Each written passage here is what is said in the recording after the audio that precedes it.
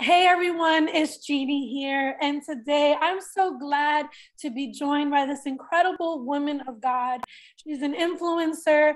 We know her from a very popular mainstream television show, Madison Prewett, uh, releasing her very first book, Made for This Moment. Madison, thank you so much for joining me. Thank you so much for having me. I'm so excited to be here. So I totally did watch the entire season of The Bachelor that you were on. Confession, right? right. That's what I'm like. Oh, I give away my little secrets. But the truth is, I'm going to be honest. I wouldn't watch this show if there weren't people like you on it. Mm. Um, you know, the salt. yeah, yeah. I was so excited uh, for your season because I loved I just feel like the way you represented Christ on a, on a mainstream show like that, which most people are like, why do Christians do these things? But I just thought it was so, you know, the season before there was somebody else who was a Christian and they vilified that person. So it was really beautiful to see um, just your representation of Christ. So let's start there, right? Um, your book, Made for This Moment, is all about yeah. being at a certain place for such a time as this as Queen yeah. Esther. So, what do you think was God's purpose for you to be on The Bachelor? I mean, I feel like the I mean the biggest purpose not only did I feel like I learned so much and I grew so much, but really just for everyone that God kind of spoke to and encouraged through that and to me it was like one of the it was one of the coolest things to be able to say man like god can use someone like me. God can use something like the bachelor to bring glory to his name because that's just how big he is. And it showed me that we can't put god in a box you know? And i think my whole life i just imagined like okay god shows up on mission trips. God shows up on churches.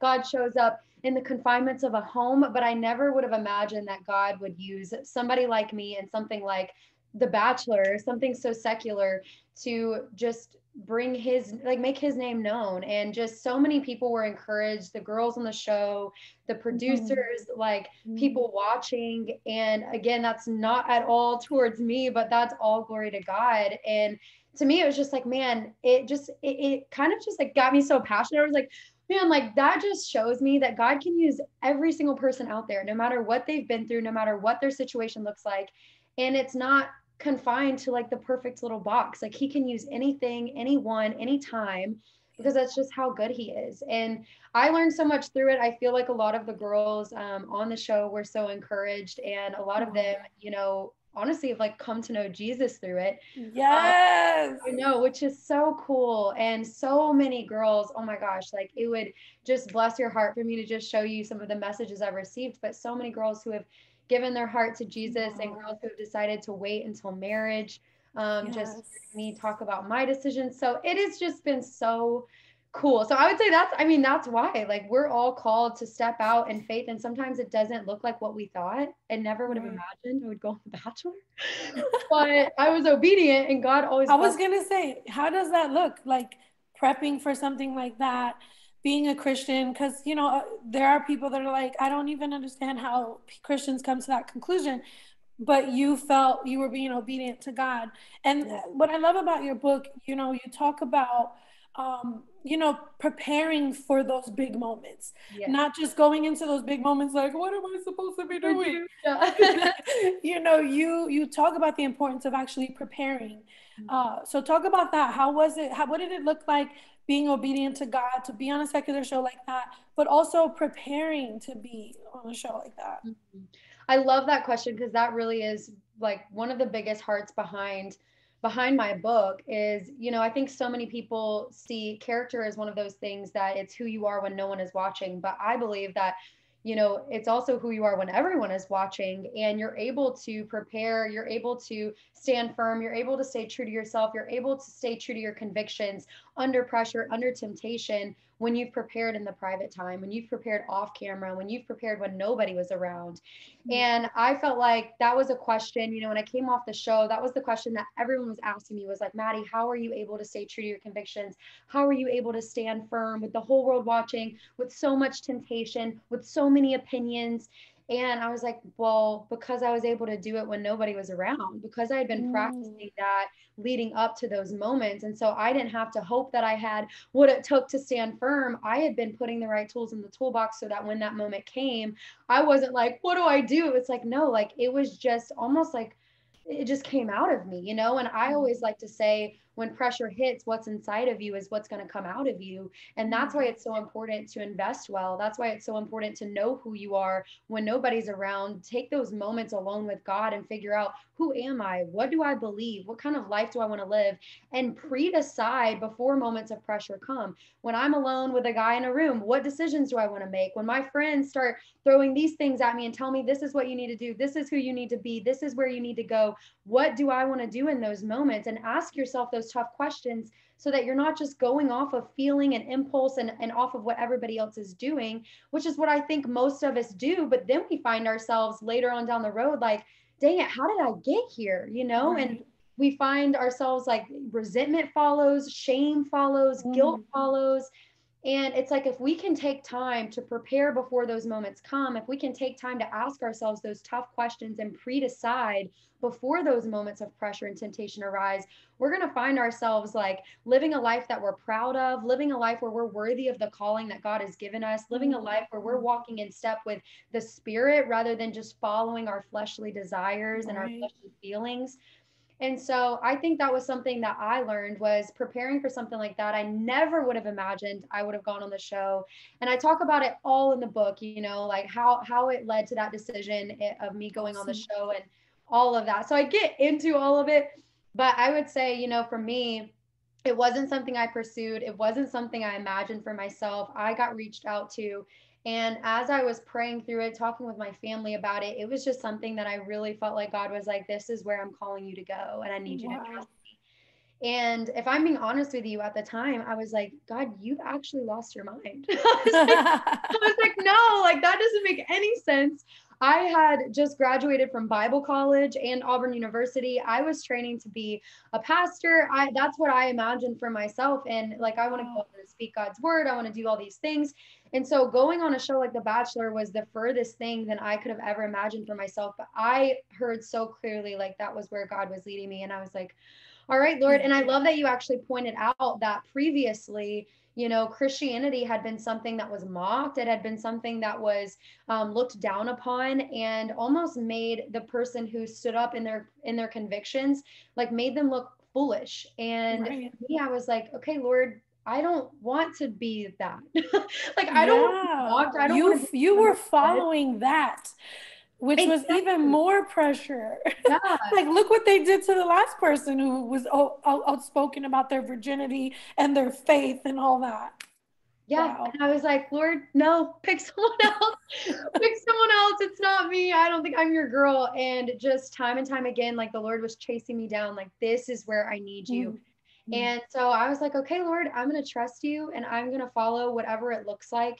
And I think that's what I've seen, you know, in my life is just the blessing that comes with obedience. And you don't always understand it. There's not always this perfect formula, but when you just say, "Okay, God, I trust you and I'm a, like I'm going to be obedient no matter the cost." It's crazy right. to see like how God can move in you and how God can move through you. Amazing. You know, um I love that you parallel kind of your life with Queen Esther because seriously like here she gets yanked into something that she didn't really want to do and the king is not even a man of faith the way she is. So talk to me about that like how what are the, some of the comparisons that you see in your own life to her well you know it's crazy yeah and i love that you brought that up because that's that's really the basis of my book is the story of esther and before i went on the show the verse that god laid on my heart was esther 414 and I had actually already started writing a book before I ever felt called to go on The Bachelor. It was about something totally different. It was more along the lines of, you know, redirection, reroutes, how you're making, you know, plans to go this way and God redirects you. And then it was like my life actually became that book, which I'm like, what in the world?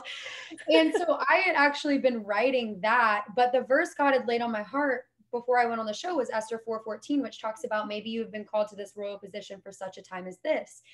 And I remember going on the show, and and, and that was a verse I clung like I, I clinged to, but I didn't really know the significance of it at that moment. When I came off the show, and everyone was asking me, like I was referencing earlier, you know, how were you able to stand firm under pressure? How were you able to stay true to yourself? That story of Esther came back to mind. And I was like, man, that is such a powerful testimony. It's the only book in the Bible where God's name is never mentioned. Like it's such light and darkness. It, it's really this beautiful story of standing firm in your courage and convictions, not knowing what will follow. You know, you could lose, it could cost you everything, but it also could you could gain so many like so much along the way you know and you could save a people. And so for me it was like that story came back to mind. And when i was thinking about my book i was like i want my book to be something where i'm giving back to people. I'm adding i'm adding value to people and it's what they're wanting to hear. And so i took all those questions into consideration. I talked to my team and i was like what is the modern way of saying for such a time as this and that's when we came up with Made for This Moment. And so I really structured my book with the story of Esther in mind. And of course, I saw parallels in my own specific journey and, you know, time on The Bachelor and, and throughout my life. But I even saw it for for you, for the for the listeners here, for the readers that are going to read the book, for everyone, because I was like, we have all we are all made on purpose and for a purpose. Every single one of us has greatness inside of us, potential inside of us, and we are called for a reason and for this moment in time. It's not by accident that we're here. It's not by accident that we're on this earth in this time of everything that's going on in the world. Like we were needed for this time. And so it almost like ignited this fuel and passion inside of me of, man, I want people to understand that just like Esther, she had to break free from her past. She had to overcome labels. She had to stand in courage, even when she was probably so afraid. She had to go against the grain, even though it may have cost her everything. And mm-hmm. I talk along all of those things because even though that feels like a story that, oh, like that was just something in the Bible, that was something, you know, thousands of years ago, it reigns true for you and for me today of we all face labels, we all face our past, like we all face yeah fear and confidence and how how can i stand firm? How can i know who i am in a world that's constantly trying to tell me who i am? You know and so for me it was like i want I want to see like modern Esthers in today's world rise up and say, This is who I am, not who you tell me who I am. Yeah. This is who I am because this is who God says I am. And I'm going to walk in confidence. I'm going to walk in conviction. I'm going to walk in courage and and so really that just kind of was what lit inside of me. And so of course like you you know you said like i saw so much parallel in my own personal life but even more than that i just saw almost this vision of esther's being like awoken. And i was wow. like man it's time for people to rise up to be unashamed of the gospel to be unashamed of their convictions and beliefs and to walk out the person that god has called them to be and to make a difference. And so that is like my heart and just my prayer for this book and for everyone listening, for everyone who buys the book is like that's that's my hope for them. I love it. Let me ask you this: what um what do you say to you know there are tons of beautiful young women like yourself um, who are on social media, who are on these platforms, or you you you know you have millions of people following you, which is such a blessing that somebody like you can be an influence to them. Honestly, I mean that um, what what kind of you know what advice do you have for them to use their platforms? Whatever that looks like. Maybe they're not going to be on the bachelor but maybe it's something different. You know um, to use their platforms to promote uh, good and god in christ you know? Yeah. You know, one of my life verses is Acts 20 24, and it says, For my only aim is to finish the race and complete the task, the task of testifying to the good news of God's grace. And for me, that is a verse that I cling to constantly because I remember that verse reminds me this life is not about me, it's so much bigger than me. And I think where we can get boggled down as women, as believers, as Christians, so many times is we get trapped in that comparison game. We get trapped mm-hmm. in just the labels that people put on us, the expectations people put on us. And I just, that verse just continues to remind me like, I've been called to run my race and it's not about me. Like, I'm here to serve others. I'm here to love on others. I'm here to make a difference, whatever that looks like. And so I would just encourage, you know, whoever is listening, like you are you for a reason and you have the people around you in your life that you can reach better than I can, better than you can. And, you know, who, if not you, then who? Like that, there's a reason that you're in their life. There's a reason that you've been given what you've been given. And I just encourage you to use your voice. And there may be moments where it feels lonely. There may be moments where it's hard. There may be moments where it's awkward, when you have to go against the grain, when you put things out there that people don't agree with. But God will always bless you for that. And also, you'll see like there'll be so much i just feel like so much joy that fills your heart when you know you're doing what god's called you to do mm-hmm. and it's almost like it's almost this two-way street of you have this goal to like i'm going to make a difference but it's like in return you get filled so much because you're like i'm doing what god's called me to do. Like i'm mm-hmm. walking out exactly the life that god has called me to walk out. I'm walking in obedience. I'm walking in faith. I'm walking in purpose and when we do that, it's just crazy just how much joy, how much confidence, how much hope we have. And also in the meantime, we're helping other people and we're loving on other people. And so really it's a win-win situation. You know, I have seen so many people in my life who from the outside looking in, they have the followers, they have the fame, they have the money, they have the looks, but they're not walking in purpose. And so their life is empty because they're using their voice for selfish reasons. They're using their voice for themselves. It's all about them, it's all about what they can get, what they can gain. And they're so empty inside. They lay their heads down at night and they say, Is this all there is? Is there more to life? Yeah. And it's crazy because those very people I've seen come to me being like, How are you so confident? How are you so joyful? How are you so full of just purpose and hope? And I'm like, Jesus, literally Jesus. And I'm like, and and because I'm not even living for myself and whatever comes with my life, whether it's it's followers, whether it's not, whether it's on a stage, whether it's in my quiet, alone, private time with Jesus or witnessing to a person on the side of the street or encouraging a friend over the phone, whatever that looks like, like just knowing God has given me what He's given me. He's made me uniquely and intentionally. And I'm going to use every single bit of that to glorify Him and to help and serve people. And I think, man, if we just have people that have that mindset, how much better would this world be? I know. I'm like, you know, it's funny because when I first saw The Bachelor and, you know, they do the introductions and then they say what you, you know, what you do for a living um, which is always funny to me. Um, I'm just like, that's not the most important part of somebody's life, but it's, a, but I loved when I saw that you were a foster care recruiter because my husband and I went through the whole uh, process to, to foster and, and, and eventually will adopt. And it's so, it's like you literally have to have a heart to serve others to, yeah. to do stuff like that so when i saw that i liked you immediately because i'm like this is some this is a hard job it's not an easy job yeah. um but let me ask you this, um, and then we can wrap it up and, and you can feel free to add whatever else you, you want to add. But there's a lot of young women, I'm a pastor's wife. Um, so I have a lot of girls that I mentor. And what I noticed the trap for many young girls um, is being single and wanting that person. Yeah. You know, and a lot of times that can kind of steer you down a direction where you do it's not it's not as easy to just serve and live for Christ because you're looking for that fulfillment. Can you talk to that? Because a lot of the people that go on The Bachelor are looking for that person, right? And and who watch The Bachelor, you know, they just want to see something work. Yeah. Can you talk to? No, I love that question because I think I also think that you make so many of we make so many of our decisions from a place of who who we see that we are and what we believe about ourselves and I think for so many of us, we are constantly, we don't feel like we belong. We don't know who we belong to. We don't know who we truly are. So we latch onto people, we latch onto fantasies, we latch onto situations, onto, you know, fame, onto followers, onto whatever it is, hoping that in that we'll find validation, in that we'll find worth, in that we'll find belonging. Then we'll be secure, then we'll be confident. But the truth is, if our confidence is always contingent upon all of these circumstances, then it's never going to be stable. It's never going to be secure. It's never going to be consistent. And for me, one of the biggest things has been finding my confidence, finding my identity in Christ. And from that place, I make my decisions. From that place, I have a certain perspective. From that place, I attract certain people.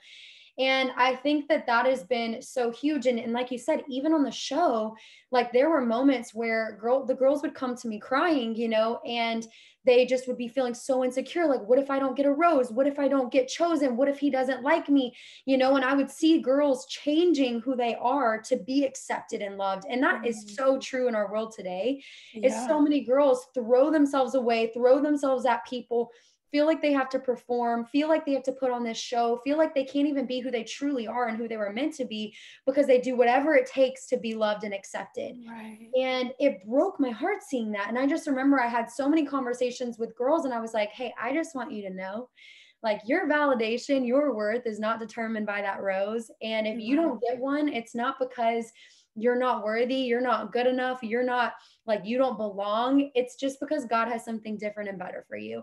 And you have to see not getting a rose as not that you're getting rejected, but that God is redirecting it for something better.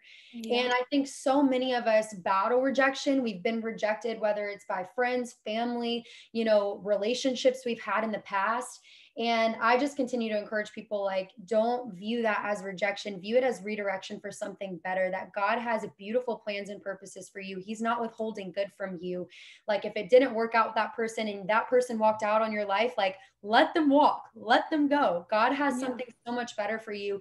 But also know that if you're constantly walking around from a place of lack and you're waiting for someone else to be that abundance, you're going to stay empty. Like you're going to mm. stay constantly searching, you're going to stay constantly longing. You're going to constantly find yourself riding on this roller coaster of highs and lows. You feel really good about yourself when other people are affirming you, when other people are praising you, when guys are noticing you, when girls are noticing you, whoever is listening, like you you're riding on the highs and lows of other people and what they think but the truth is we're all on a journey and if you're riding on the highs and lows of someone else like that's a dangerous place to be but we serve a god who is the same like yesterday today and forever and we get to have the luxury of when we say i know who i am because i know whose i am and i know who i belong to then we get to come from a place of i already know i'm accepted I already know mm-hmm. I belong. I already know who I am. I'm already picked. It's not pick me, pick me. It's I already am picked. I already know mm. my worth. I already know I'm chosen. I already know I'm loved. And therefore, I walk around not necessarily with cockiness, but with a confidence of, I don't need you. I really don't. Right. Like I I only need Jesus and he and right. he chose me and he loves me. And so if you choose me back, great. If not, fine. Like mm-hmm. I'm living my life. And so I just say I constantly encourage people with that all the time because I do think that that's something that is such a big struggle um, in yeah. today's world, especially for my generation and younger than me. Yeah. Yeah. Um, is is almost that pick me, pick me mentality, and it just breaks my heart because I'm like, man, but you're already picked, like you're already right.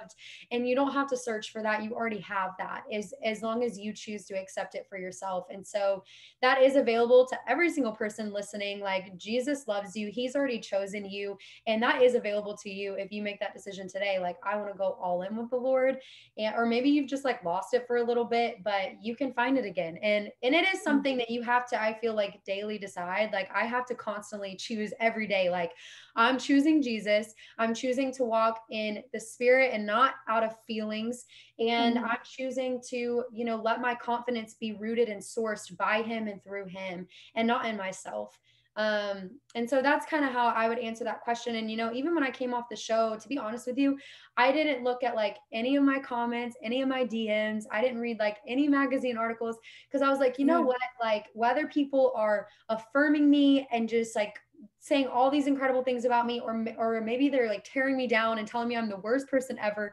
I was like, I don't want to hear either of it because it's not about me and I don't care about their validation. Like I live for an audience of one and I know who I belong to and that's what matters. That's beautiful. Well, Madison, I'm so grateful for you. I'm grateful that you were made for this moment, like your book says. And I'm really excited for people to get their hands on it.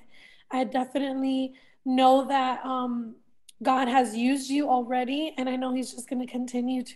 And I'm grateful for your obedience.